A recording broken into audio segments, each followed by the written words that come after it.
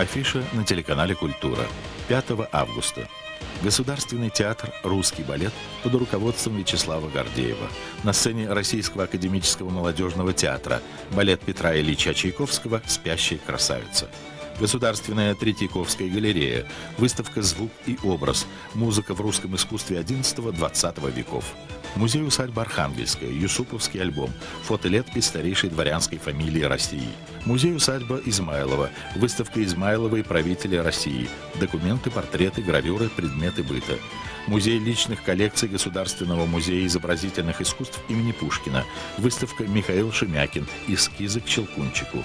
Государственный музей изобразительных искусств имени Пушкина, Франциско де Гоя, натюрморт с рыбами. Выставка одной картины из Музея изящных искусств Хьюстона.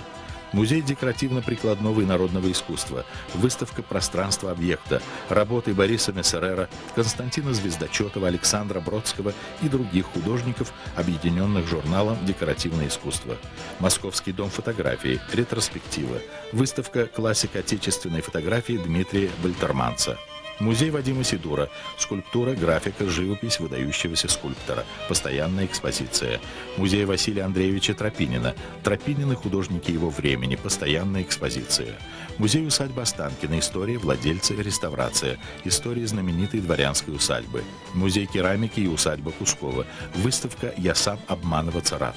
Искусство оптической иллюзии в работах художников XVIII века и в живописи Татьяны Назаренко.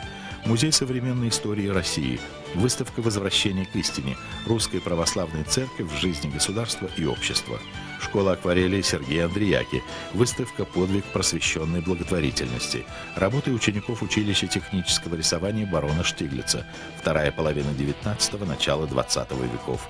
Московский цирк Никулина на Цветном бульваре. Программа «Набис. Звезды российского цирка в красочном представлении». Музей-заповедник Абрамцева, Аксаковы и их гости. Жизнь и творчество владельцев и гостей усадьбы. Постоянные экспозиции. Государственный исторический музей «Патриарх Никон». Выставка, посвященная одному из выдающихся деятелей русской православной культуры. Музей-заповедник Коломенское. Восьмое чудо света. Выставка, посвященная дворцу царя Алексея Михайловича, одному из шедевров деревянной архитектуры XVII века. Новодевичий монастырь, филиал Государственного исторического музея. Выставка «Средневековые сокровища из Нидерландов». Коллекция монастыря Святой Екатерины в Утрехте. Дом-музей Ермоловый, филиал театрального музея имени Бахрушина.